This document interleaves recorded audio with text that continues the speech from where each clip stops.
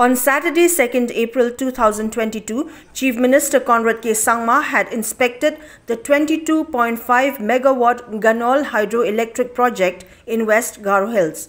The project, of which the completion was scheduled for 2020, was delayed due to the pandemic. However, civil work resumed and the construction is in progress.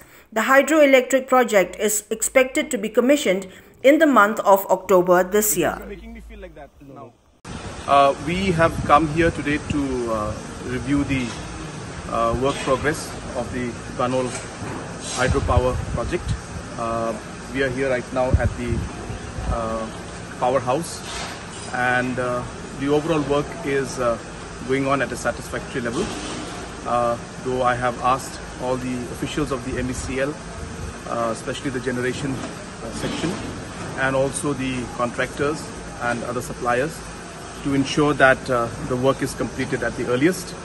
Uh, I have been told that uh, the work will be done very soon and we should expect that the uh, first unit will be commissioned uh, by October of 2022 and consequently uh, the next two units in the months to follow. So uh, we are quite happy to see the progress but we have asked the contractors and the officials and the suppliers to ensure that uh, they continuously monitor and ensure that uh, this project is completed on time and uh, the people of the region uh, and the state as a whole are able to enjoy the power that will be supplied by the Ganol power project.